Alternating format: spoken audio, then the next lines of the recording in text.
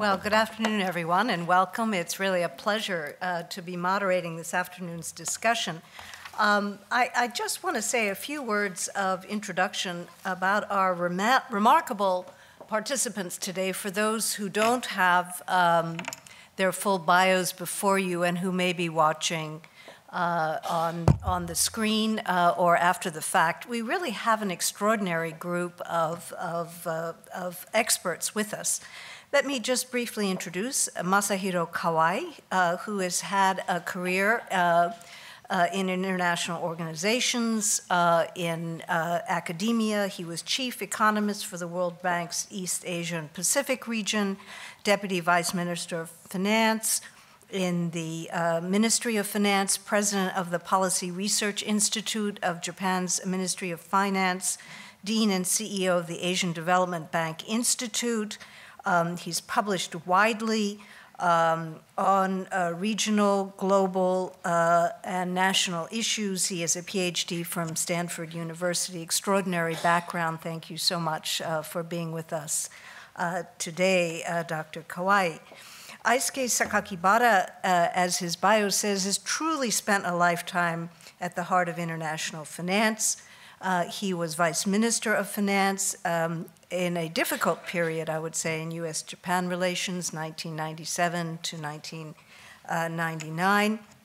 And he earned the famous nickname of Mr. Yen for his influence over currency markets. He's been an advisor to the Japan Center for International Finance.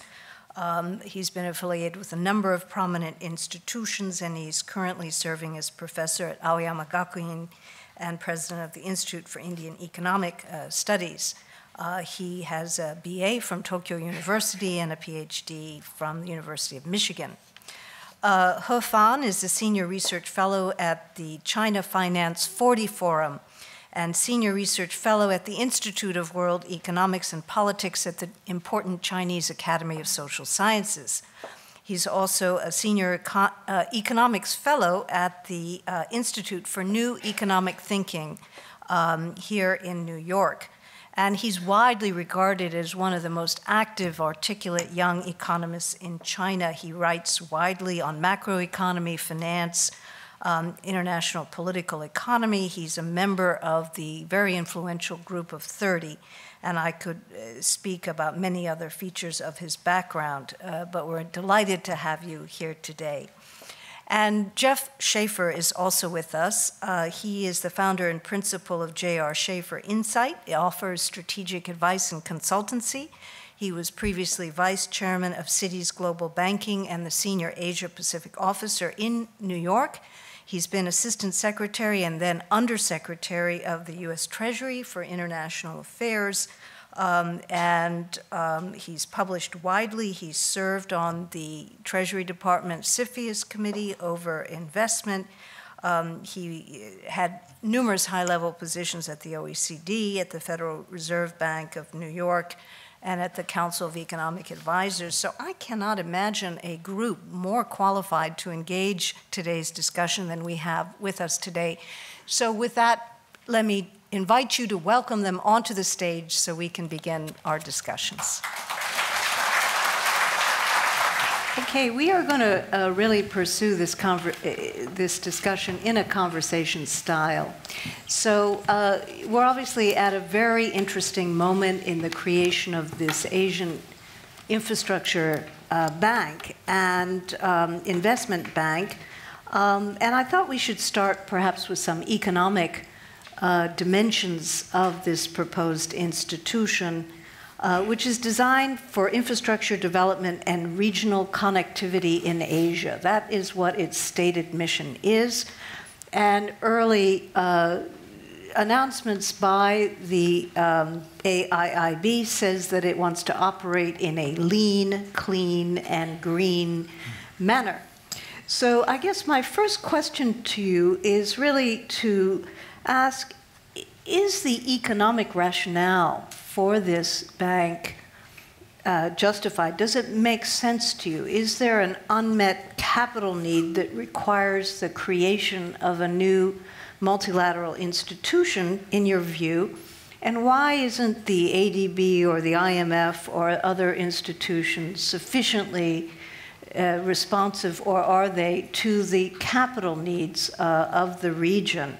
Um, and do you see this as a mechanism that will mobilize public and private resources in ways that are not currently available? And I'd like to ask each of you to comment uh, and offer your perspectives around that, starting with Dr. Kawai. Yes, uh, uh, thank you. well, uh, according to the study by uh, ADB and ADB Institute, uh, published about five years ago, mm -hmm. between 2010 and 2020, there would be demand for infrastructure investment by the magnitude of 8.3 trillion US dollars, uh, which means about uh, 750 billion US dollars per year. Uh, the ADB provides about 13 billion dollars per year. The World Bank about the same magnitude, and other bilaterals uh, maybe about 10 or 20 billion altogether. So, so there is huge uh, unmet demand for infrastructure uh, investment in Asia. So uh, not only AIIB, but many other entities can come and can provide uh, financing. Mm -hmm. So, uh, so clearly uh, there's a good economic reason. And even if uh, the World Bank and ADB may provide uh, financing, according to China and AIIB uh, or the Secretariat uh, for the, you know, preparation of AIIB establishment, the procedures of uh, the World Bank and AIIB are cumbersome. Uh, they pay a lot of attention to uh, the financial feasibility, viability of the projects to be financed, uh, the, the, environmental and social standards and so forth. So according to China and AIIB, uh, time is not fast enough mm -hmm. for many developing countries. Mm -hmm. So AIIB is expected uh, to process uh, loan uh, you know, applications and loan uh, uh, implementation very fast. Mm -hmm. So looks like uh, there is a good uh, economic reason. Mm -hmm. Thank you very much. I, I, would like to hear from you as well, if we could each hear, share your thoughts. Jeff, would you? As Professor Kawai said, there is an immense need for infrastructure investment in uh, Asia, in other parts of the world as well, but especially in Asia with its very rapid growth. And it's fair to say that the existing institutions have fallen down some, in part because they have focused their agenda more on poverty alleviation and other issues. Uh, back uh, 40 years ago, the World Bank was an infrastructure bank. It's much less of one now. One could have done this by kind of revitalizing that mission within these organizations, but I think it makes a lot of sense to go out and start a new organization and say, this is your focus, this is your job, and have it do it. And I think the, the, Chinese, in recognizing the need and wanting to exercise some leadership, have taken an initiative that, uh, that has a lot of promise. I think it's also important to recognize, I used to argue that we didn't need to worry as much about the infrastructure investment capacity of the World Bank and the ADB, because the private sector could do this. And I think at one point in the 1990s, early maybe the last decade, an awful lot of the infrastructure needs were being met by uh, banks and funds and other organizations in the private sector. That's falling down for one reason because it was always there. Dealing with infrastructure, you're almost always dealing with governments, you're dealing with long lead times, and things don't happen fast enough for an investment banker.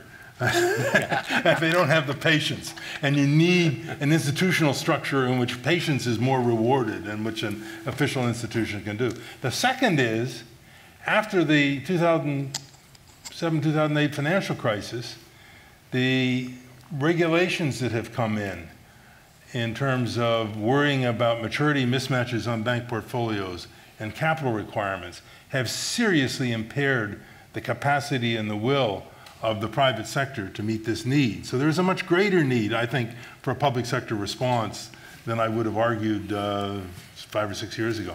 Mm -hmm.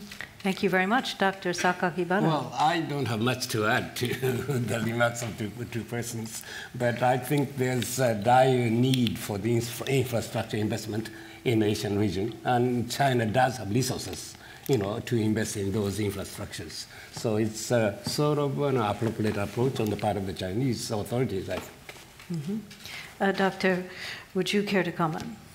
Uh, I think um, before the global financial crisis, there was already a heated debate on global imbalance. But at that time, much emphasis was put on, you know, some country consume quite a lot and some country um, saving too much, meaning China. So China need to encourage domestic consumption.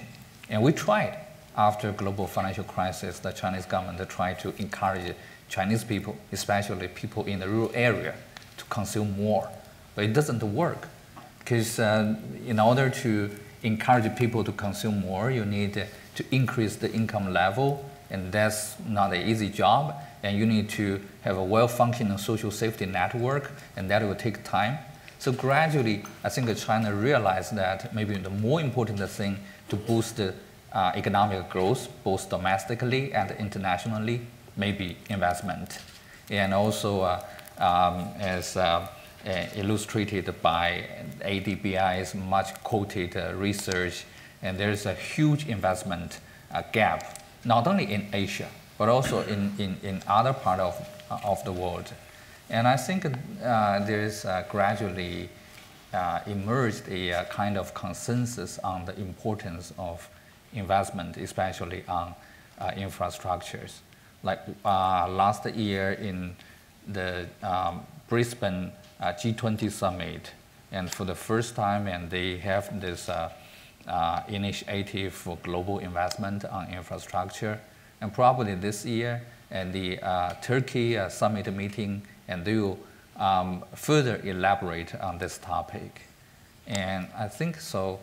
I think the um, there is a huge demand um, for not only in Asia but also all over the world. Like in United States, and all the the, the, the railway was built in uh, mid uh, 19th century, and the uh, highway was built in mid 20th century. So, uh, in United States, there's also a huge demand for uh, investment uh, for the infrastructures. Mm -hmm. Thank you very much. So let me let me ask you, you know, each of you have had deep experience with your national systems and with multilateral bodies. And so you've mentioned, uh, you know, this will have focus. It will focus on infrastructure, so it won't have kind of diffusion of mission.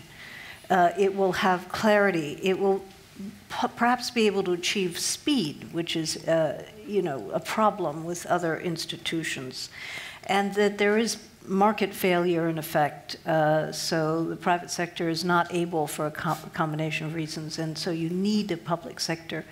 So as you think about existing institutions to inform how this institution might need to work, as against how speculating on what it will or will not, what are the critical variables to achieve these things? Focus, speed, uh, you know, going into the right that isn't, you know, what are the, what, how do you think that a new institution would achieve those elements? Well, uh, obviously, uh, infrastructure investment uh, is uh, the first priority for AIIB.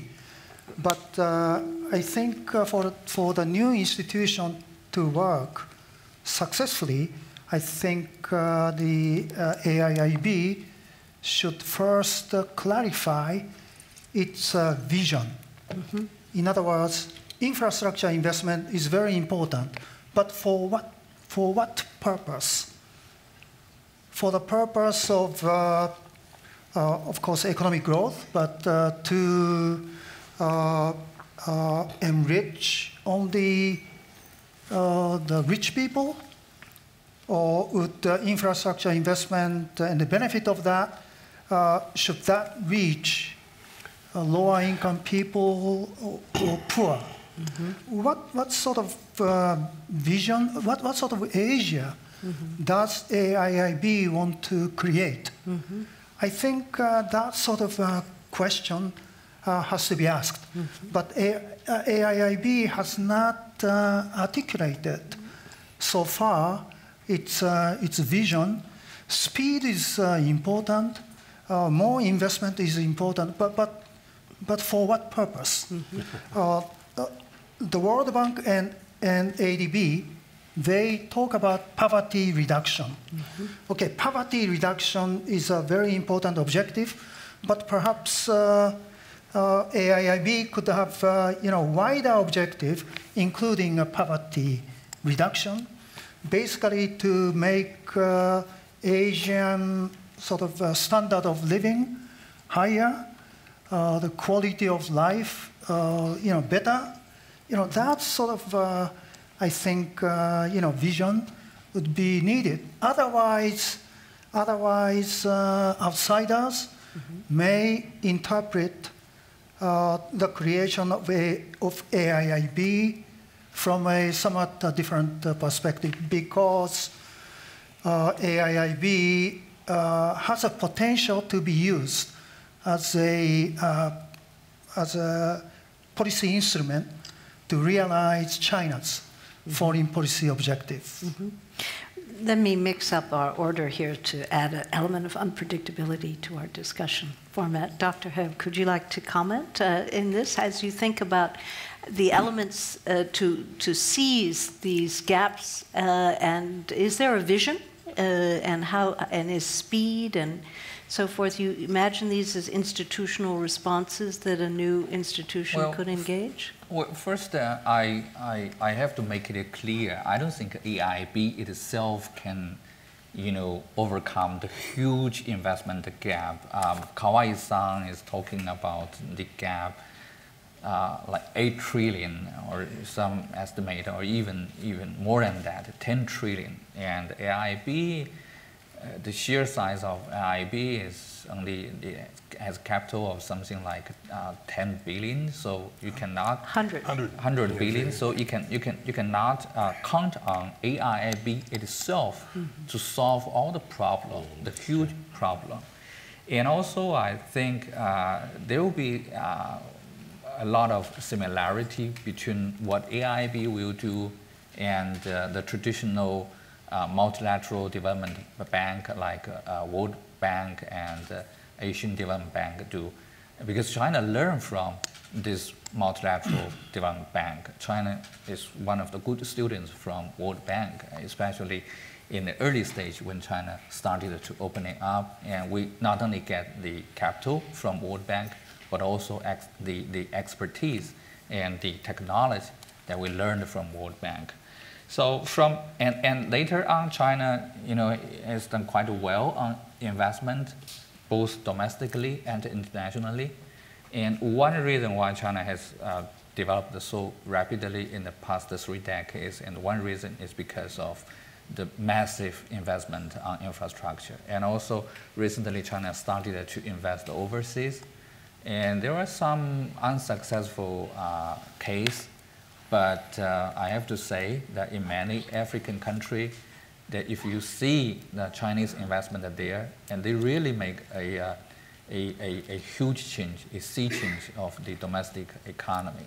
So on the one hand, I think China try to, you know, combine the practice um, of World Bank and ADB, but at the same time, um, it's better that if China can combine its own experience on investing uh, and, and, and then to, to reform the, the current multilateral development bank. But whether AIIB can, can, can do this job, we have to wait and see. It's not China's bank. It now has a membership of uh, more than 50 countries. So it's up to all the member countries to decide what will be the mandate, what will be the corporate governance of this new bank. Mm-hmm. But it's a good try for China to be engaged in this uh, global governance on uh, infrastructure investment. Mm-hmm. What is your sense, Sakakibara-san, of, of that which would be able to advance uh, the objectives? Well, you know, I think there's a huge demand for the infrastructure investment. For that purpose, AIIB creation is very helpful. But what is important here is is it going to be a genuine international organization or does it remain as a Chinese institution? So if it serves the Chinese diplomatic purposes, you know, it will remain as an instrument of Chinese policies. But I think China has an objective of making AIIB a genuine international organization. So uh, what needs to be done? You know, uh, to make AIIB a genuine international organization is a big issue at this moment. Mm-hmm. And, and what do you think that is? The two conditions need to be satisfied, in my view. First, Chinese share has to be reduced uh-huh. to less than 20 percent in most of the you know, international organizations, biggest share is less than 20%. You know, in ADB, for example, Asian Development Bank, Japanese share is 16% and American share is 16%. Okay? And if China has an, a, a sort of share of 30%, 40%, it will be dominated by one country. And that cannot be said as a genuine international organization. The other thing is, you might uh, disagree with me, but uh, uh, I think resident representatives should be at the site uh, of that institution. Uh, that is the case with IMF, World Bank, and ADB as well. But right now, China is saying uh, that they do not need resident representative at the site. You know, the participating country could communicate from their home country, you know, to each other, and that should be enough. But I think, you know, uh, some executive directors being at the site, you know, uh, is a good sort of way to monitor the institution. Mm-hmm. Otherwise, president or the staff uh, could really dominate the decision making of that institution. Mm-hmm. So, you know, existence of resident representative, I think, is quite important. Mm-hmm. Those 2 mm-hmm. are the things that I want the Chinese to understand and to implement. Mm-hmm. So those are the core institutional features that you're not yet hearing. Yeah, yeah. That would increase your confidence of it as a multilateral institution. That's right. That's right. That's right. How I'm glad you, we're going to have some disagreement. Oh, good. Sakakibara-san and I talked earlier, and I was extolling the virtues of getting rid of these heavy bureaucratic resident boards, uh, which are out of touch with their governments and don't represent anybody but themselves. Uh, and I think it's a nice innovation that the Chinese are going to try, having seen what happens in Washington at the IMF and the World Bank. And, and in a modern day, you can get on a, uh, on a screen conference call from around the world. You can get on a plane and be there for a special meeting if you need to. And to have executive directors who are embedded in their governments at home, I think is a, is a really step forward in the governance of these institutions. One but, good example to counter your discussion, executive director of the World Bank, uh, you know, uh, recently has become a vice minister uh, for international affairs of the Ministry of Finance. So he is very firmly embedded in the Japanese institution. But afterwards. afterwards. and in fact, I would argue that you know the, the influence is often most effectively carried by the um, uh, through the, uh, the, the staff of the organization, and certainly a series of they skipped you skipped it, but of your uh, uh predecessor and your follower, who were deputy managing directors of the IMF were the focal point of the influence of the government of Japan on the IMF, I think, as, as much as executive. So I wouldn't minimize either the role of, of, the, uh, of the staff. I think there, there are several things that are important, and I'm probably not going to mention them all. Uh, but I was impressed at the extent to which the group that's doing the development of the organization and has completed, although they haven't been published yet, the Articles of Agreement, is in fact thinking about these things. Uh, one is to have a quality staff uh, that doesn't become embedded. And they are going to hire a staff that is um, um, fixed term appointments, not people who go and become lifers and, and, and become out of touch. So we're going to have fresh people coming in all the time. I've forgotten whether it's five years or what the term is, but I think, I think that's a great improvement over what we have now, and will make it a stronger, more vigorous, more active uh, staff. Uh, I think uh, also that uh, to have an open recruiting, we'll see how they do, right, for this, uh, is important. Uh, They're not limiting the staff they're bringing in now to people even who are member countries. The uh, general counsel of the new organization is going to be an American who used to work at the U.S. Treasury. Uh, And so they're very open and creative. So I think it's a, it's a tough battle, but the people you get are, are, are one critical uh, That's right, that's right. And, and the oversight, but I think the oversight can be done at a distance in the modern, modern world. They do need to have a vision. I assume that will come. It's uh, still very early days. Uh, the kind of discussion that I heard and, and it would sound like it's sort of taking shape. They talked about connectivity, right? And that means airports and ports and highways and all the things that bring the region together. and they said, but they said it's not just that, that social capital matters too. And they assume that they will be financing hospitals and schools as well. So there's a, but that will have to get defined. And it will, something that all of the 57 participating governments will have a voice in. They already did reopen the Articles of Agreement after they thought they were finished to allow the, the late-coming members from Europe and elsewhere to have, uh, have an influence on it. Uh, it is right, one country shouldn't dominate it, uh, and China is quite, I think, ready to not dominate it. Their share now is 22%, just a little over the threshold that uh, Sakibara-san said. If Japan were to join, the Chinese share would drop below 22%. Oh, is Or if the US were to join, the Chinese share would drop below 22%, and they're quite comfortable in having that happen. Uh, And an organization without the first and third largest countries in the world in it kind of does become concent, a little more concentrated. Thank you, Dr. Kawai. Yeah, this uh, governance issue is, uh, I think, uh, the most important issue. Uh, China's uh, capital contribution share would be almost 30%, uh, less than 30%, but uh, almost 30%. Uh, that, that's a huge uh, share. Uh, actually, uh, the US has uh, 30% capital contribution share in the case of the Inter-American Development Bank. That, that's sort of an exception, but, uh, but China's share is clearly large. And uh, location is Beijing. And the president, uh, the first president at least, is going to be a Chinese uh, person. Uh, so uh, we can assume that uh, you know, China is going to have a great influence over how the bank is going to be run. And, and the board members uh, may not uh, be, uh, uh, are not going to be uh, resident board members, but, but uh, what's more important is uh, what sort of uh, authority the board members uh, are going to have. Whether they have a full authority to, to decide which projects right. should be adopted. There is uh, a great deal of uncertainty uh, on this question.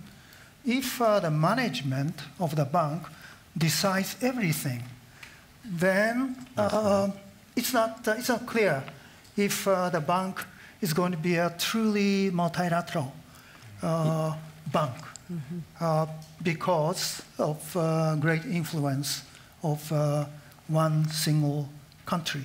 Mm-hmm.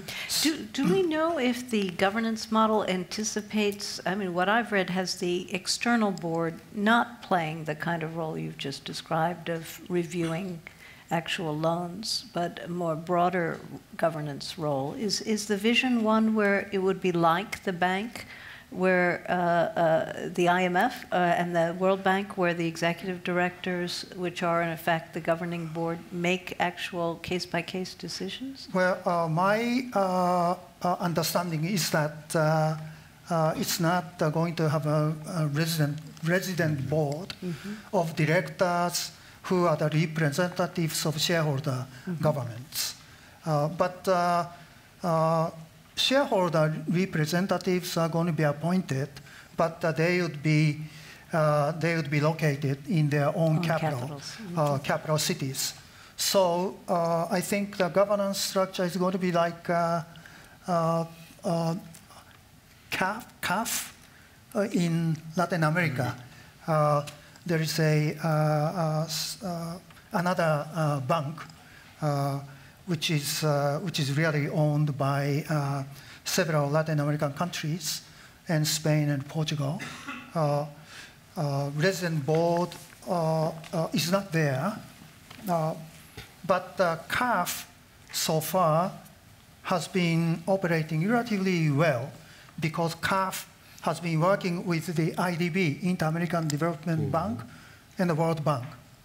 So the question is whether AIIB can be like uh, CAF, or is it going to be like uh, ADB or, or the World Bank? If uh, they decide to have a resident board uh, in Beijing, then a better governance uh, would be there and better oversight of the management is there. Or otherwise, AIIB would have uh, to work very closely with the ADB and the World Bank so that uh, they could uh, function uh, just like uh, traditional uh, MDBs. What worries me about the AIIB is that uh, its headquarters is located in Beijing, and it is headed by Chinese. But when ADB, Asian Development Bank, was created, Japan was given the choice either to have it in Tokyo and have non-Japanese to head that organization, or to have it outside Tokyo, outside Japan, and head that institution by Japanese. We chose Manila, Philippines, and chose uh, that uh, Japanese uh, sort of a president of that institution. Uh, so that kind of, you know, uh, sort of, uh, you know, uh, choice needs to be there. If it is in Beijing, it should be headed by non-Chinese. So, uh, so or, Sakaki, or if it is headed by Chinese, it should be out of China. uh-huh. so you think the influence of Japan is less because it's in the Philippines? Yeah, I think so. I think so. Yeah, Okay. yeah, yeah. Dr. He? Um, first, the, uh, location of the headquarters uh, is in Beijing, and I think that's a bad idea because of the air pollution in Beijing. so, probably like Hong Kong and, and, and, and some other, uh, or Hangzhou, and the beautiful city will be much better. And second, the share of uh, the Chinese share in AIIB, I agree it's a, uh, uh, why it has a larger share. I agree with uh, uh, Jeffrey. Uh, if uh, Japan and United States also join, and then they'll be more balanced. And There's without uh, there's no question about that. And um, and I think uh, AIIB is not trying to duplicate World Bank or ADB. So it's more like AIIB is trying to find its uh, position um, somewhere between a commercial bank and a uh, pure international organization because it need to uh, raising money from the capital market and then it need to get the, the return back. So um, um, I would like to say that we um, need to, uh, we, we should expect that there will be more innovation um, in all kinds of regards, like um, AIIB choose not to have those uh, representative of all the member countries sitting in Beijing, and also uh, they may, you know, the, the, the business that they are doing may be different from that uh, of World Bank or ADB. Imagine that AIIB invest in United States, I would not be surprised. And why should, if you want to uh, help developing country, why should you only invest in those backward water, in those least developed area? Why shouldn't you help companies in India or China? Uh, You can invest in Europe and invest in United States. That would be a win-win situation for both the developing country and the developed country. So I think in the future it's a trial and error, and uh, it's everything. Most of the things are negotiable, and more than 50 member countries, and they will sit sit down and uh, discuss what will be the best model for this uh, uh, new institution. Okay. Well, thank you very much. I, I would like it to turn to the political economy a little bit of this. Uh, and uh, you have a two.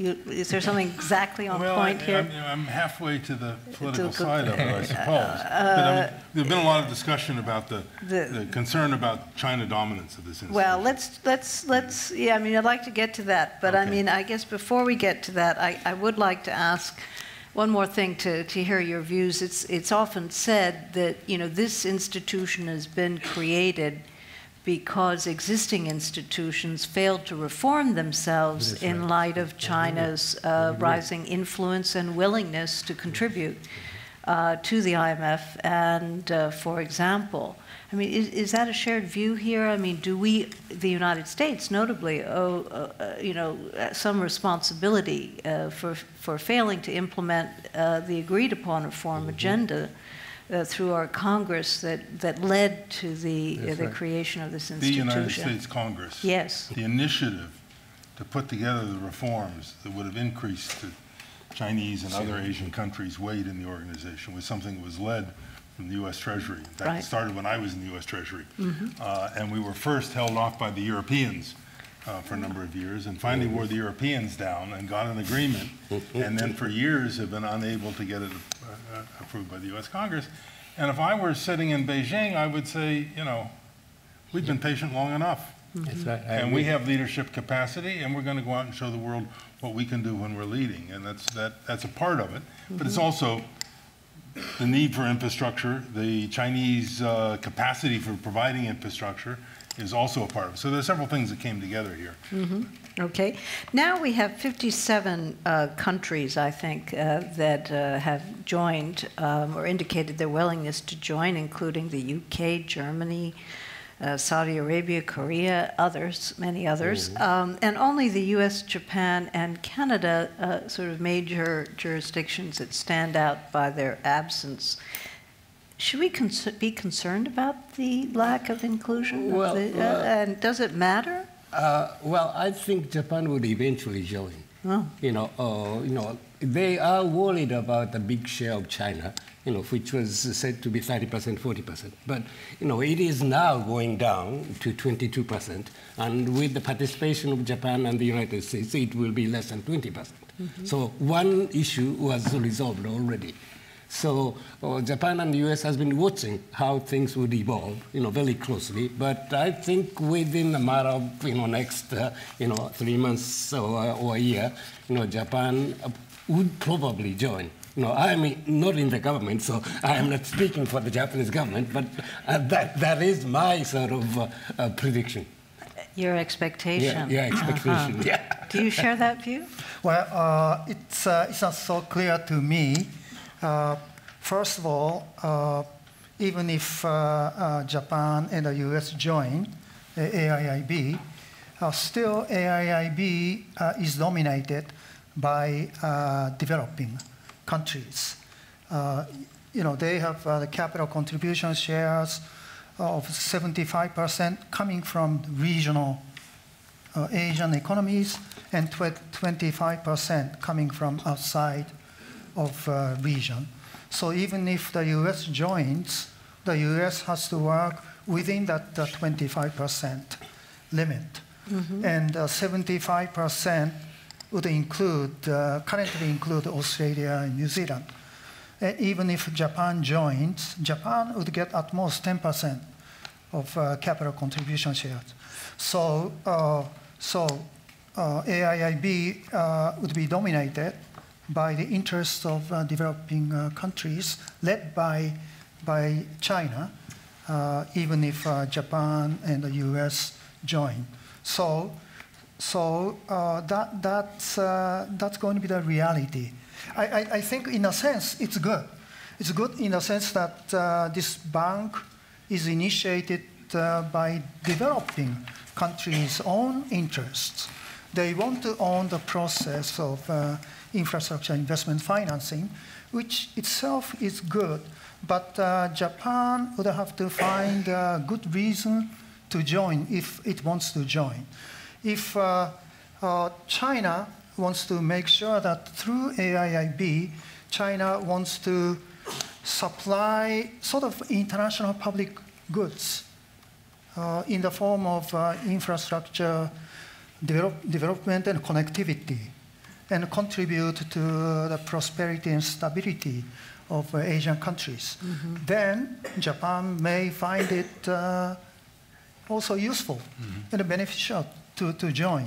Mm-hmm. Yeah, I, I but, agree with the latter part of your comment that it is sort of, uh, you know, uh, dominated by the developing countries, you know, not only by China, but, you know, many developing countries. That's a good, uh, you know, uh, sort of aspect of this AIIB, I think, you know.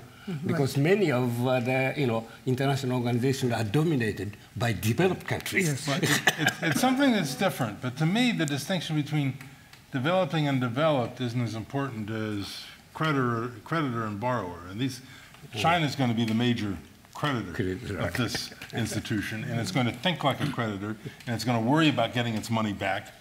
And you got to remember, in the 1960s, when the Asian Development Bank was set up, mm-hmm. Japan wasn't in that different a stage of development from the one that China is reaching that's now. Right, that's right. That's and, right. And fact, but it was a creditor even then, and, and, it, and it was able to exercise leadership. And I think this is in many ways is a parallel action. The Asian, um, Asian Development Bank, as I went back and checked, was originally publicly talked about by Lyndon Johnson but it was right? the Japanese government and the Ministry of Finance that grabbed the idea right, and ran right, with it and made it their own and was the way that uh, Japan showed that it could play a leadership role in yeah, the world yeah, yeah. and in the region. And that is, I think, what China is trying to do now. They have to do it well. If they try to dominate it too much, mm-hmm. there's going to be friction, there's going to be disapproval, the Europeans will pull back. Uh, so they really have got very strong incentives to try to manage this in a, in yeah. Success of Japan in, in, in ADB is we have a good partner, United States. Yeah. so let me ask you, Jeff, what would it take for the U.S. to change its posture? I mean, Robert Zoellick is on record for saying, for example, that the U.S. should not oppose ventures that are popular and likely to succeed. Well, this was a uh, uh, an interesting comment. Apparently, uh, at some early stage, there were parts of the U.S. government that made some very strong opposition, privately opposition mm-hmm. to this. Um, that was very unfortunate, I think. And if you're going to do it, you ought to be effective, right? They weren't effective in talking anybody out of participating. Uh, but the U.S. government has changed. And let me, I think it's worth reading what uh, mm-hmm. uh, Secretary Lew said about uh, You just happen to have it in a speech in March. Because the U.S. has moved a long way, I think. We made it clear to China that the United States stands ready to welcome new additions to the international development architecture including the Asian Infrastructure Investment Bank, provided, and the provisions of the things we've been talking about, they complement existing institutions, they share the community's strong commitment to genuine multilateral decision making mm-hmm. and ever improving lending standings and safeguards. So mm-hmm. those issues. So I think that's where the U.S. is. He doesn't say we join, uh, and I think the problem there is the same problem we have with the IMF legislation. If uh, the administration were to sign up, uh, we would have Congress, a very difficult time getting Congress to, uh, mm-hmm. to ratify that participation. So the U.S. is in a very awkward position. Mm-hmm. Uh, and so it's probably much more possible for Japan to move forward. But I think it is important in this organization to have a strong somebody, a, a, a partner, a check on China, and having one or both of us in there is, uh, is better. Mm-hmm. So. And let me ask uh, Dr. He from a Chinese perspective, uh, your individual views, but as you think you um, speak to the Chinese perspective, is this a hedge strategy? Uh, uh, uh, you know, in light of, of you know, frustrations around the IMF and other institutions, or, or is it really a, a part of a strategy to, to have greater influence in the world and, and um, you know, really create new institutions that will operate differently in the world? I think is a strategy gradually uh, evoluted. Um, China, you know, used to, to, the first choice for China will be to have more uh, voices in those Bretton Woods system mm -hmm. institution. So we try very hard, mm -hmm. and to, you know we have very very high expectation for the quota uh, system reform, mm -hmm. because we were invited by the United States, and they promised that if you contribute more, and then you have more saying in those Bretton Woods institutions, but nothing happened. Mm-hmm. And uh, China after the Asian financial crisis, China started to be more uh, active in regional financial cooperation. So the idea of AIIB was first a proposal because China is thinking that now we have this uh, free trade agreement and we have this uh, Chiang Mai initiative, reserve pooling, and what will be the next step that we can move forward on this regional cooperation? And then comes the idea that maybe we can have a uh, multilateral development bank and focus on investment because China think that investment may be more practical, that you can have this project and then you can see the result more obviously than, than the other policies. Um, so, and, and we try different proposals and to be frank, at first, uh, AIIB was not on the priority of China's agenda. Mm -hmm. And we have this proposal of the BRICS Bank. BRICS Bank, yeah. And, and the, the, uh, I think the, uh, the thinking of Chinese government is there's only five member countries. So it may be more easy to have consensus uh, and then we can have this new bank. But it turns out to be, it's more difficult. so and all of a sudden, I think it's even to the surprise of Chinese people, and then we see this AIIB is now flourishing. Mm -hmm. And the, the lesson that we can learn from AIIB, I think, is a fiasco of the uh, economic diplomacy of the United States, to be frank. Yeah. But it's not a uh, triumph for China, because China is still at a very early stage uh, uh in playing a more active role in global governance. Mm -hmm. So it's a, it's, a, it's a new long, it's a long march. And we are just at the first step of this new long march. And mm -hmm. there are a lot of things that we need to learn. And at the very early stage, we, uh, Chinese government official came to Washington, D.C., and they consulted and they invited United States. And I think maybe United States think this is th this kind of thing will never happen. So they, they didn't pay any attention. and um, um, the, we are still, you know, uh, open and we still uh, welcome uh, countries like the United States and Japan and of course uh, Canada and the other countries and to be on the table and then we can um, work together and you can contribute to uh, all the uh, expertise and uh, your experience and then we can, we can, we can make it functioning better. Okay. Well, I'm going to open up for questions in just a moment, so please uh, think of questions you would like to ask. But let me, uh, before doing so, I invite the panel to, to comment as they will on two different things. One is, do you think there is a shared sense of uh, patient capital? Um, uh, uh, among the, in other words, the time frame, you know, what kind of returns do we need? I mean, the fundamental economics uh, uh, uh around infrastructure lending. Is there, is, you think there's a shared view around that? And second, as you think about the, um, what role uh, should this new institution? So you've commented on the governance principles that are important, the uh, uh, shareholdings that are important. But as you think about what role it might play with the private sector and with, uh, uh, with existing international organizations, you know, what role should it play? Uh, should it be co-investing? Should it be, you know, uh, seeking to uh, involve? Uh, should it be operating only on its own? Should do you really want to have, uh, you know, uh, banks, private sector banks, for reasons that Jeff outlined, less able to do certain things? That should be guaranteeing to, you know. So, what role with private sector? And, uh, and, and similarly is the whole view around um, uh, capital sufficiently aligned so that we can uh, think about um, uh, what it might do in the world. And I invite each of you to engage that as you wish. Well, uh, with regard to your first question, uh, availability of patient capital, I think a lot of patient capital, we are talking about 10 years, maybe 20 years uh, investment uh, horizon, uh, a lot of patient capital would be available if the rate of return is very high, in the, in the two-digit level. then, then there's a lot.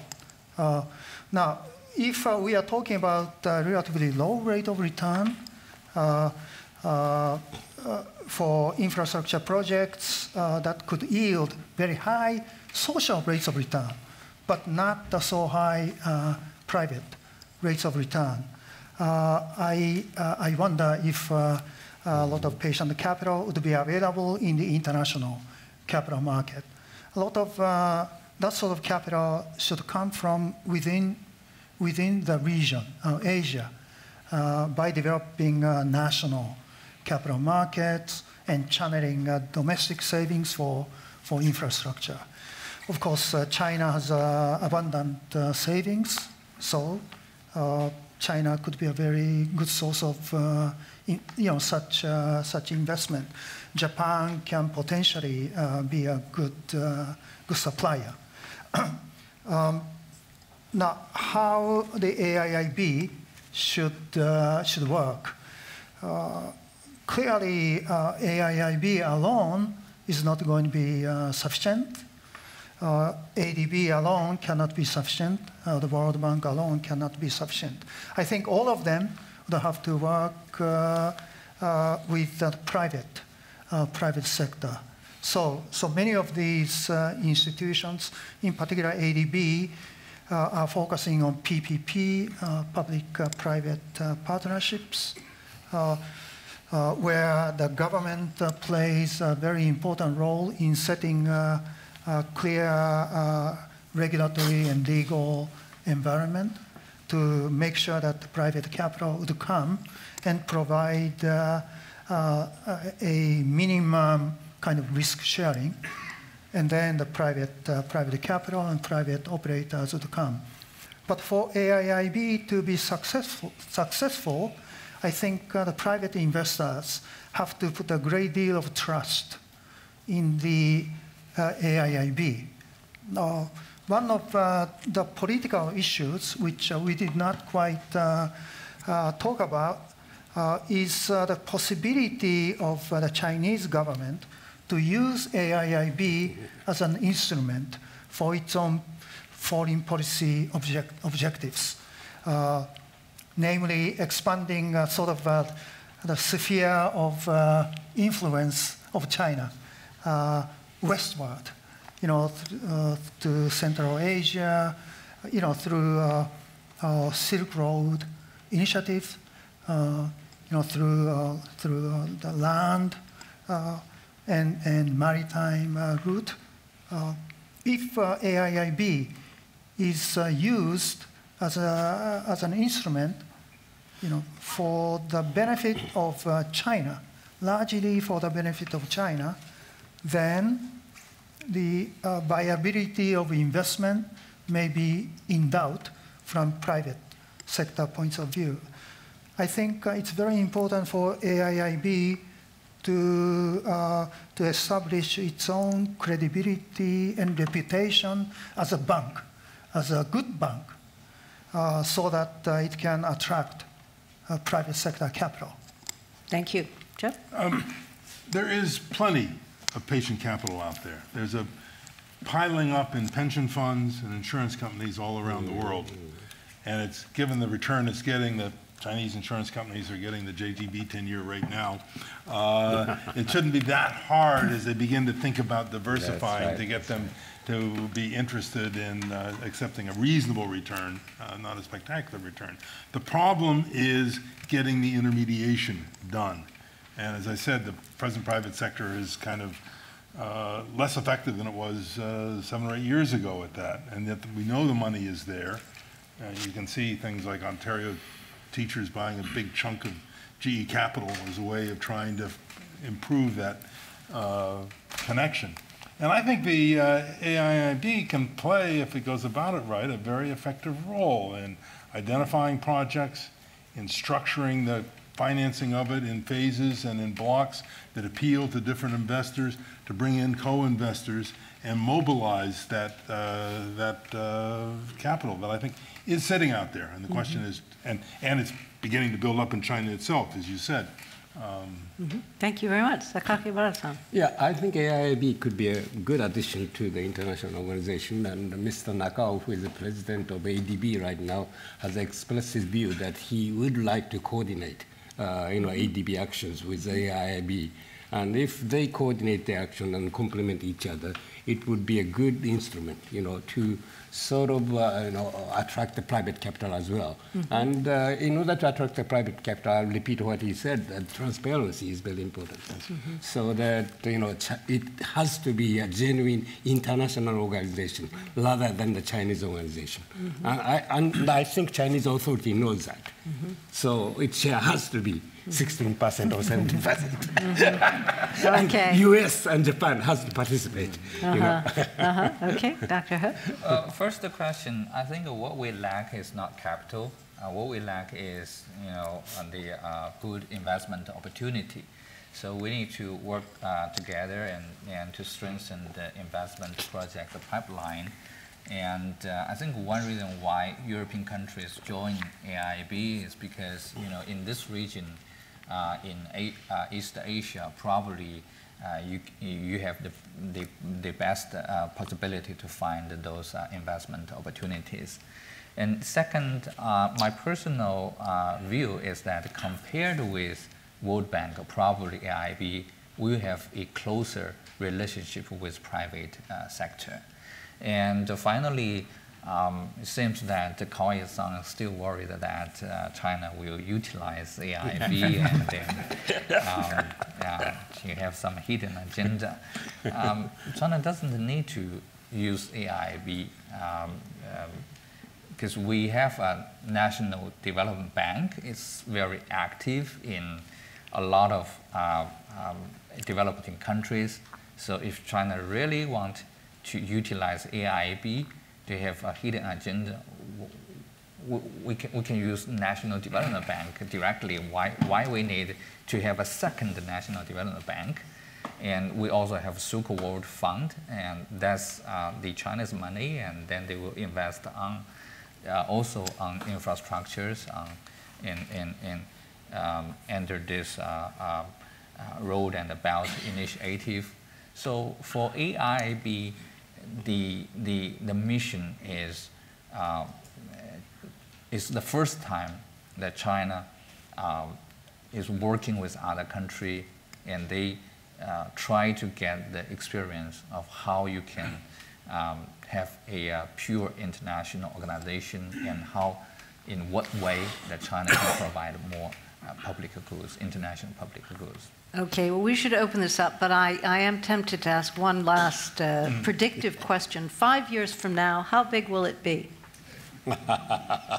Well, there are two scenarios. The best case scenario will be with the, the, the, the joining of United States and Canada and uh, Japan, and then you can, you can have a very large IIB in parallel with ADB, probably, but still supplementary to uh, World Bank. But um, the worst case scenario will be well, member countries cannot figure out will, what will be the corporate, the, the best, the corporate governance, and then it will remain there, but in a, in a, in a relatively, relatively small size, and not become gradually marginalized because there are other new institutions. So maybe um, that the BRICS Bank, the new development bank, will replace AIIB and play a more important role. uh, who knows? Yeah. Who knows? Okay. I want to be in a bank with. Very good. Well, thank you very much. Let's open it up, and if you could wait for the microphone, uh, please identify yourself, and please do ask a question. We have a question here, a brief question. Thank you for your presentation. Uh, my question is, well, first of all, Could you say who you are, please? okay, I'm Jacqueline Span, and I'm the president of Education and Literacy Fund for Africa. Um, first of all, I do uh, commend you for this idea, but I'm concerned. I'd like to ask you this this question. First of all, there are a lot of wars and uprisings all over the world that's happening. And have you considered that when you talk about this collaboration? Secondly, I haven't heard you mention at all, uh, well, you, you've selected the countries so far, but do you intend to expand to Africa, India, and the Latin American countries? And then thirdly, are you going to invite any of your youth uh, that are looking for jobs, and they most certainly have gone through the proper training in institutions. Uh, have you considered bringing them into this conversation? Anyone care to comment on, on geographic reach and uh, how uh, it will speak to uh, younger populations?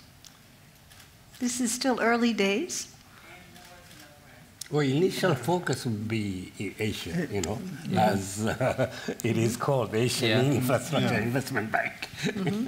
So the focus is on Asia, where in fact there are increasing tensions even between people who are joining this bank.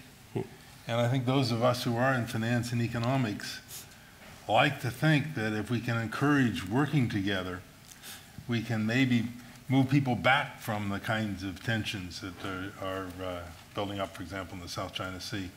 Uh, and so that's one example in that part of the world. Um, but uh, obviously, you get to the point where people, there's real conflict, and then you can't build infrastructure, and, and this process start, stops.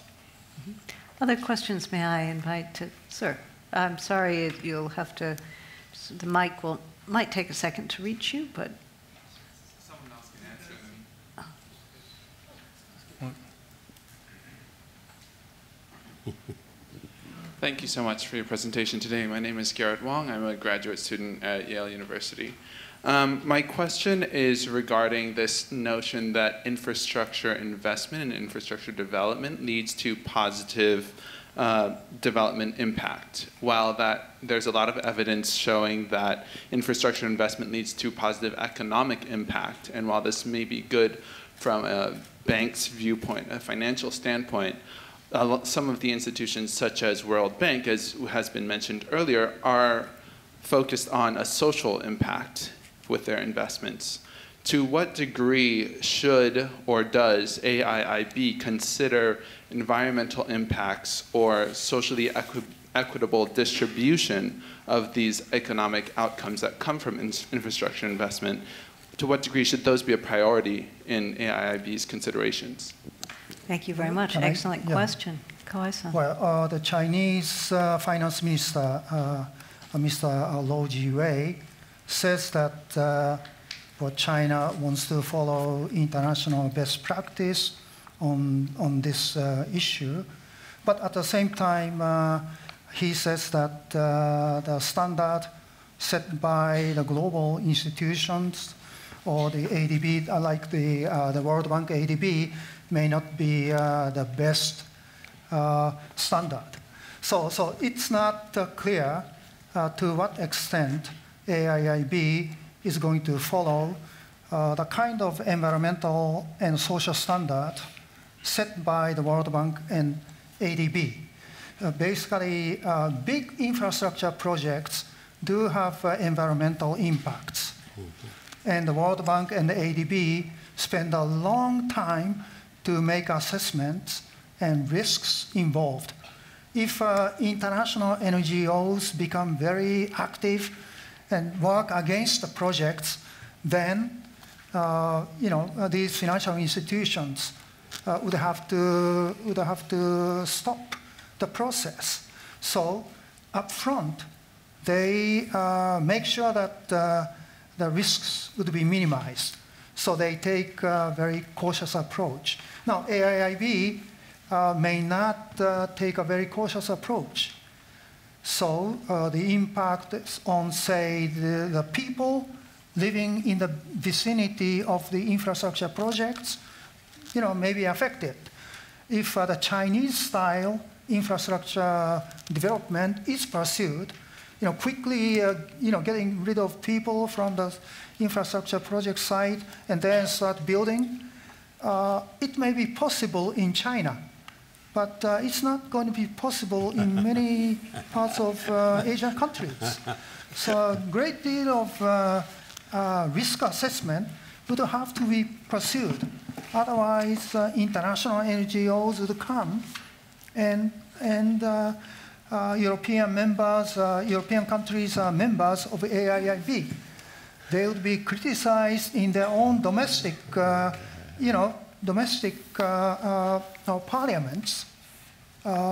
so eventually, AIIB would, would be forced to raise uh, the environmental and social standards. Otherwise, uh, the you know projects and operations are not going to be uh, sustainable. That's right. You've got, yeah, you, yeah, you've got European countries in here whose governments are going to be very sensitive to That's the right. environmental That's side of things. Right. And already we have the articulation of clean and green as yeah, the clear priorities right. of the of the institution. And I the, the social policy, the removing people may be a little more tense because the Chinese are used to doing this in a different way. Now, Americans aren't as good as you think.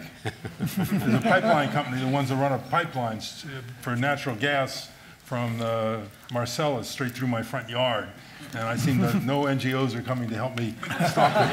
Um, but, uh, but I think on the environment, the awakening of sensitivity to the environment of China at the highest levels is really striking. I was in Beijing last week, and the air was about like New York, and I was shocked.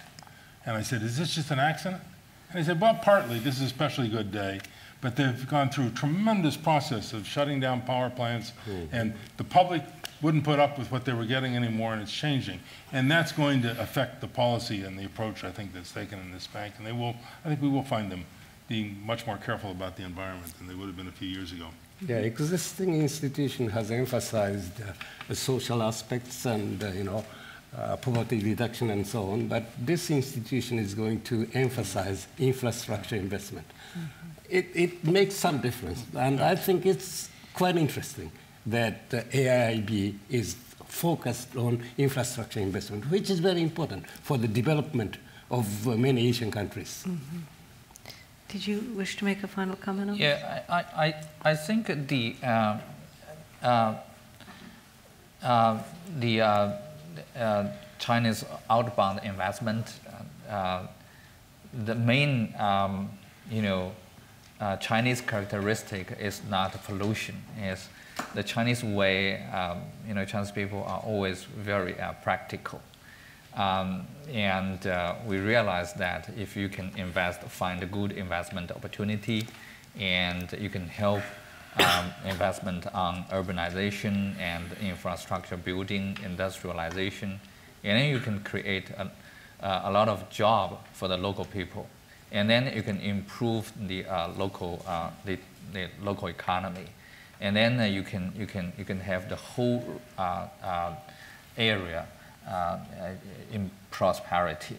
So um, um, uh, the Chinese way, probably if we, we have more Chinese element in the practice of AIB, it, it's, it's not that there will be more pollution or you know break the rule. It's, it should be more practical.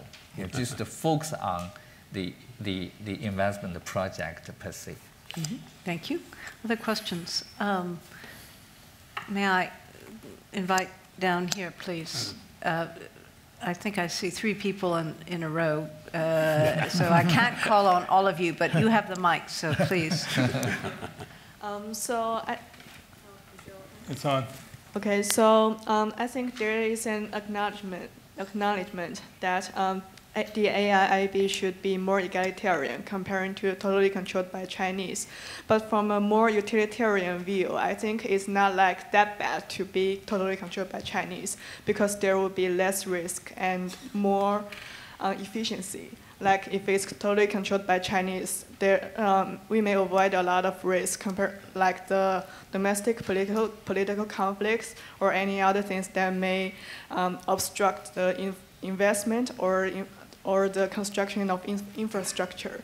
So I'm wondering what would the real benefits be if the AIIB is um, is like more egalitarian as we expected because I don't really see a lot of like real benefits except like political bargaining and more bigger political voice. I mean, would there be more investment or something like that? Who would like to comment? I think from China's uh, uh, interest, uh, it's better to have a multilateral institution rather than dominated by China. If it's a, a financial institution dominated by China, and imagine other countries come to China and say, well, I support you, so you have to extend a large amount of loan, and then five years or 10 years later, and nobody knows where the money so the reason why the reason why China invite other countries, especially um, the uh, allies from the United States, is they can help to build a higher standard. Because very often when you hear the Chinese people investing overseas, and they're um, they're uh, uh, that they are saying what they are saying to the local government is exactly what a foreign uh, investor uh, talked with Chinese people uh, when China was in the early 1980s. And there should be uh, rule by law, and it should be more transparent, and you cannot confiscate my investment overnight. So uh, gradually there will be, you know, a kind of the international rule regarding mm-hmm. in the, the, the, the international investment. Mm-hmm. So you think this is going to contribute to this creation of norms? Yeah, uh, I think around. we are at mm-hmm. the right time to mm-hmm. think seriously mm-hmm. that that we need to have this uh, uh, international rule because uh, now we, we have some rule, but it's uh, on international uh, investment, but it's very fragmental. You have some in the WTO, and you have some with the OECD but we do not have this uh, unified and the binding rule regarding Around uh, international investment, and which can balance the interest of both the developing country and the developed country. Mm-hmm. Thank Can you I, very much. J- mm-hmm. Just yeah, it's uh, it's very good to bring uh, China and AIIB into the international sort of rules-based economic uh, system. It's, uh, it's very so good. So don't worry but, about Yeah. it's very good. But, but, but, at the same time, China has a practical benefit uh, in helping uh, other countries' uh, infrastructure sure. investment yeah. because China has a huge excess capacity and, uh, you know, steel, cement, you know, basic materials have been overproduced and will continue to be overproduced. So China needs a market, so China can export. And also infrastructure investment uh, is now has been contained because China has been investing too much. Uh, now infrastructure businesses can go abroad. So China can expand its own business. so China has uh, also its own practical, practical yes, benefit. Mm-hmm. Thank you. I think this gentleman has held on to the mic, so we'll give him, uh, and then we'll turn to you, sir. Yes, uh, thank you very much for your comments. My name is Valentin Schmidt with the Epoch Times, and we haven't spoken about uh, money, spoken a lot about investment, but specifically the capital paid in is still denominated in US dollars as far as I'm concerned. But many people say that the United States was so concerned about the AIIB because it poses a threat to the dollar as the world reserve currency. So I'm wondering, is that true? And will there be loans made in yuan, or uh, is that is that um, concern uh, justified? Well, uh, does anyone here have a concern that this will have a big impact on the reserve currency issue? No. I, I, No. I, No. I, No, I think, but- I think one rationale for AIB from China's uh, um, point of, re- of view is uh, we are sitting on a huge amount of um, foreign exchange reserve denominated in US dollar, and we, we are buying the very low yield uh, T-bills. So it's a, when, when AIIB, when we establish AIB, it's still much of the business will, will be in US dollar. But uh, from China's uh, viewpoint, it's a uh, kind of way that we can diversify our portfolio. Okay, thank you. And I don't think it would have any effect on the reserve status of the dollar, although there are other things, including just the growing strength of China and its movement very, very, very slowly towards uh, liberalizing its financial and capital markets, that will move China in the direction of becoming a, a reserve currency. Yeah. And uh, I think it couldn't happen sooner. And recently listened to a presentation by somebody from China who had looked and said, boy, there are a lot of costs of being a reserve currency. Maybe we should worry about this. Like having a tendency to have everybody buy your currency and have it be overvalued, and therefore it be bad for your manufacturing producers. And there, so, so I'd be glad to share those problems with China. if they look along. May- Maybe 50 years later, the, you know, renminbi may become the second reserve currency. yeah? Okay, 50 years, I hear. I think 50 that's a long time. Uh, Gentleman over here, please. Hi, uh, Vincent Lau from uh, Swiss Reinsurance Company. Uh, just a question uh, for the panel. Uh, given that the uh, American political landscape is going to change pretty much uh, next year with the election, as well as, uh, and the panel kind of seems like they agree that Japan will most likely join the AIIB down the road. But how would the political landscape, if we really elect a Republican Congress or Republican president for that matter, affect United States joining AIIB, as well as what's the political you know, implication to, uh, to the U.S. for not joining if that's the, that's the road that's lead down? That's a question to you. I think it will depend on what candidate, whether Democrat or Republican, is elected. Any American president who has a clear picture of our place in the world and how we build it and, and strengthen it, I think would move over time to engage with the, this institution and other initiatives as well. Um, But how about the Congress? the chances of doing so are better if the president and the Congress are from the same party. So in a way, I think maybe a, a Republican president would improve the chances of Oh, that, of the- that happening after the election. Also, same thing's true of uh, uh, Trade Promotion Authority and, and getting back into the TPP. I think that's not dead. It may be dead for this administration, but it's not Mm-hmm. dead.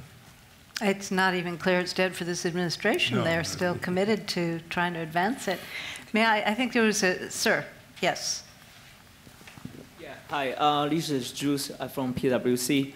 So I'm very interested. We talk a lot about uh, the demand for in- infrastructure investment, but haven't talked about the distribution of demand and where it come from. I just wonder uh, where the selection of the project, which fo- heavily focus on certain area or some other place, how would, would this process impact the geopolitical relation among the region? Anyone care to comment on that? Well, That- it, it will have an impact, and as you said, China, one of its objectives is to create better relationships with ships with its neighbors, to create business for its people, and that reason other countries want to get involved is that they want to share some of those benefits too. Uh, but clearly, by working together across borders, uh, I think it, it's going to strengthen the the, uh, the the countries and the businesses in the countries that uh, are actively engaged in that, and, and, and China is going to be a, a principal beneficiary. It won't be the only one. Let me, uh, uh, we actually haven't gone to the back of the room. If I could invite that gentleman on the aisle, please. Yes. Thank you. Hi, my name is Zachary Kay. I'm from Citibank. And I wanted to ask if you think that the AIIB should do more to credibly commit to not using the organization for, for political purposes, such as having a non Chinese president uh, of the bank or if China would have a veto power in the organization, giving up that veto power. Well, look, looks like at this point, uh, China uh, uh is going to have de facto uh, veto power. As a single country, uh, China can say no to anything that China does not like. so so it has veto power. Now, uh, but Mr. Kawai, it's not different from other international organizations no. because no, no, no, usually 85% you know majority is required to make a major decision, and Japan has 16% in ADB, and in IMF and the World Bank, I think United States has more than 15%. So they have a veto power. On, on major decisions. Right, yeah, major, on, on, on, major, yeah, major yeah, decisions. Uh, okay, now the uh, uh, infrastructure projects for geopolitical reasons tend to be non-economic. I think uh, that that's really the issue.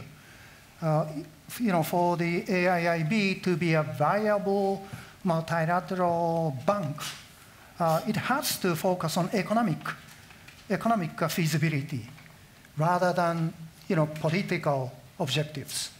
So, so it's, uh, it's very important uh, for AIIB not to make a commitment for geopolitical or political you know, uh, purposes. But, but the veto power uh, held by China uh, uh, may make things a bit more complicated. So, a last question in the front, please. Eric Tucker, ValueWorks, an investment management firm. Uh, uh, Dr. Uh, uh, Shafer made, made comment earlier about the bank being a way to relieve tensions in the region. perhaps a step further, it was said that trillions of dollars are, are really needed.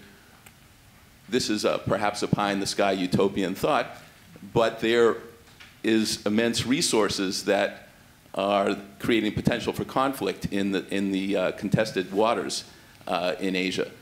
Could there be an agreement that would use these res the, the, the, resources, develop them for regional uh, infrastructure projects. And uh, while everyone would be giving up something, uh, the, the, the, threat of, of conflict uh, and what that would cost the region is, is so immense. Uh, and one other thought on, on regional tensions is there a role for Taiwan to play and to diffuse that? Uh, finally, there, there is a, a incredible amount of institutional expertise in uh, the ADB and the World Bank and the Japanese and, and, and other regional uh, institutions. There are consultative uh, things going on. Could this uh, AIB be uh, an impetus for uh, a, a, a, more formal con consultative body that would inform and, and create synergistic actions between all these institutions? Thank you.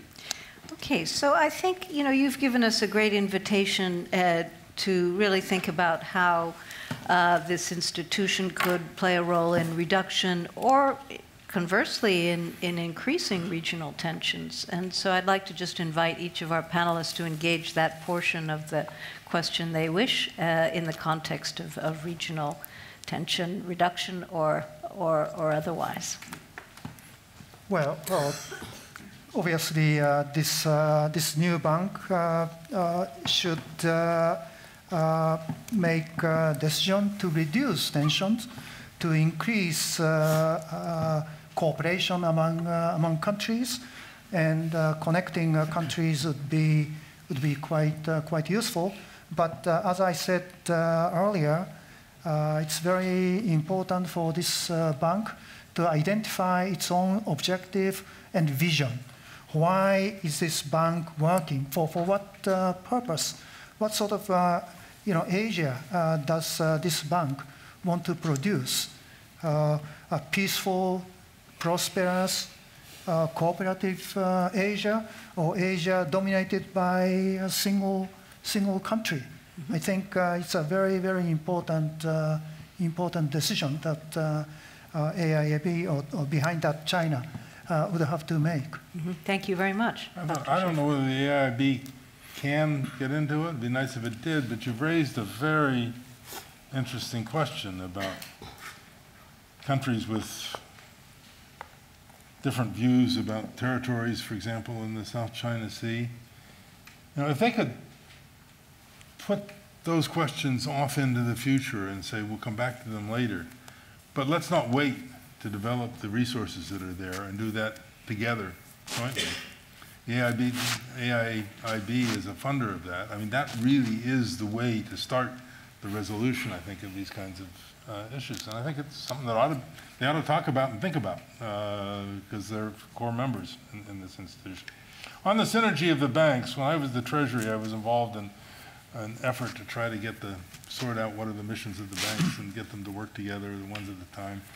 And one thing that came out of that would not, I wouldn't want to, still another organization to try to get them together. Uh, people in those institutions tend to talk more than they work or uh-huh. do things. And I, I'd, I'd have them get out and get about their business. And if there is a project, to find the people in the other bank who have an interest in the same project and have it, the, the uh, synergy take place at the grassroots level rather than a very high uh, formalized level. Mm-hmm. Thank you. Yeah, I think tensions in East Asia has been somewhat overemphasized. You know, uh, there are some territorial issues, but uh, that's relatively politically minor. And both uh, Chinese leaders and uh, Japanese leaders recognize uh, that uh, our economic relationship is very deep. So, you know, in that respect, we, we really, you know, respect each other. So uh, I don't think that, uh, you know, uh, at least in East Asia, that conflict would, would accelerate or anything like that. And another thing I'd like to say about AIIB is uh, AIIB is in a good, in a good hand. Mr. Jin, who is going to head AIIB, used to be the uh, deputy governor of ADB, and he is a well-known internationalist. And he and his staff you know, I would probably manage this bank, you know, uh, according to the international standard. Mm-hmm. So I have lots of ex- good expectations, you know, uh, with regard to Mr. Jin and the AIIB.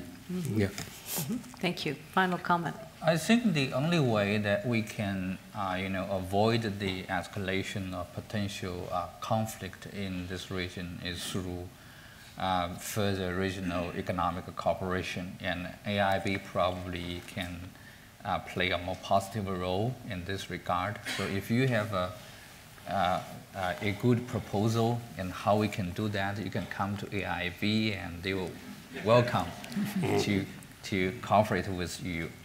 Uh, but uh, even saying that, I think we cannot rule out the possibility that maybe AIB it can uh, alleviate the potential conflict, but it may also increase the potential risk. Um, partly it depends on what AIB do, and partly depends on other countries outside AIB, especially United States. If United States think AIB is a bank uh, dominated by China, and China is using this uh, financial institution to challenge the hegemon power of United States, and then this will create a uh, self-fulfilling, uh, you know, uh, um, cycle, right? Yeah. um, but to be frank, China doesn't have any ambition to challenge the leadership of the United States. But somehow U.S. is very difficult to be convinced uh, well, I, I, wish you'd made that comment about half an hour ago. So, uh, we could have had a whole yeah. discussion around so that. I, I think uh, that uh, in order to you know, make AIB to play a more uh, positive role, and that uh, United States and other countries and should welcome this new innovation and then encourage Uh, my uh, experience um, um, advi- uh, providing the uh, policy suggestions to the uh, Chinese government is Chinese government is the advising Chinese government is much like educating your children. So if you always criticize that you are doing the wrong thing, and then it doesn't work. So better to encourage and to do the good thing. Yeah. yeah. Well, thank you very much. As, as you've heard, uh, you know, I mean, this is an institution that wants to succeed. Uh, and it's uh, moving forward rather carefully in its architecture. And it has a, a, great challenge ahead of it, and already 57 investors. So it's a complex organization already uh, to manage. And I think you've heard here both a tremendous amount of expertise. Uh, you know, and uh, uh, interest and goodwill towards the success of a new institution, although not without some worries about how it could evolve. Uh, so please join me in thanking this very expert group on a remarkable discussion.